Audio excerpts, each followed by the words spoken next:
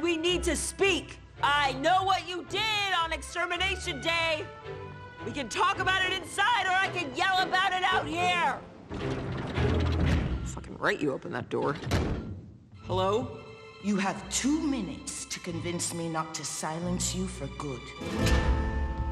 Miss Carmine, I'm here on appointment from the princess to enlist your aid in the defense of Hell from the angelic extermination. We know an angel fell at your hands, and we need to know how. No. What do you mean, no? The princess of Hell means nothing to me. You have to do better than that. 90 seconds. With your knowledge, we wouldn't have to helplessly stand by while... Clearly, I am not the helpless one here. 80 seconds. Well, then why? Why wouldn't you use what you know to fight? To avoid the very problem you and your little friends are facing right now, I will not invite destruction into my house, on my people. You think we asked for this? All Charlie has ever done is try to make things better, to help her people, who, newsflash, include your people too. And how exactly has that worked out for her? 45 seconds. We didn't pick the fight, but it's here now, and they aren't gonna stop with us. You didn't see the look on their leader's face. With us out of the way, it's only a matter of time before they come for the rest of you. They won't stop until all of hell is wiped out, so you can help us make a stand here together. Or you can stand alone tomorrow, and what do you think your chances will be then? You're out of time.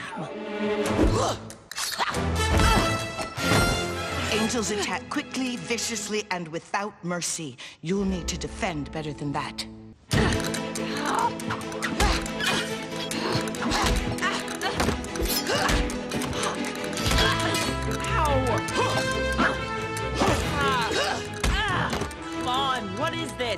want me to teach you how to beat angels? That's what I'm doing. By beating the shit out of me? I'm not used to fighting with long hair. By showing you the flaws in your own fighting style. Yours and all your sisters. Wait, you know I'm an exorcist? How? You have a giant X over your eye and wield an angelic spear. It's not rocket science. Before you found out about me, did you know angels could be harmed? No. That shows in how you fight.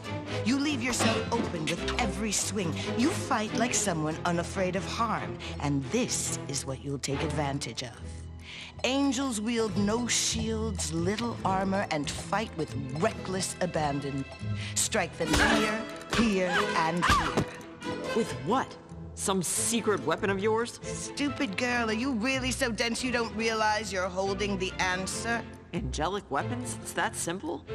How has no one else figured this out? Angelic steel isn't common. And those who have it aren't exactly rushing off to test it against exorcists.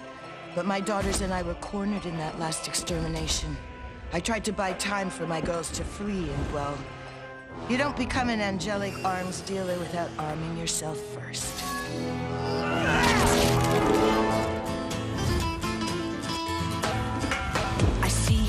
Driven by your detestation.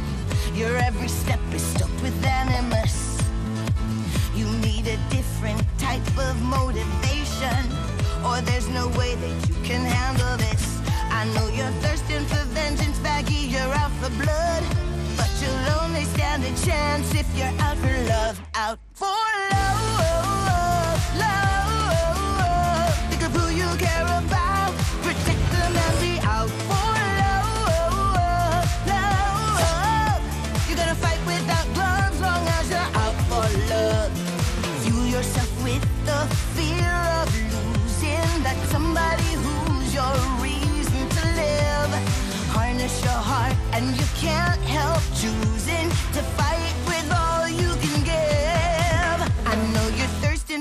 vengeance, Vaggie, you're out for blood.